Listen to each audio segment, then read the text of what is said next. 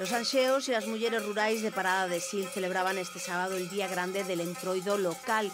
Desde primeras horas recorrían las aldeas del concello, subidos a un rudimentario remolque para llevar la fiesta a todos los vecinos.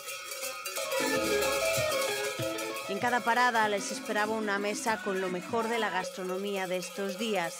El Anxeo es el personaje recuperado del entroido de Parada de Sil. Se viste con un traje realizado con tela de saco, lleva una gran capucha para cubrirse y un látigo hecho con una vara y una cuerda.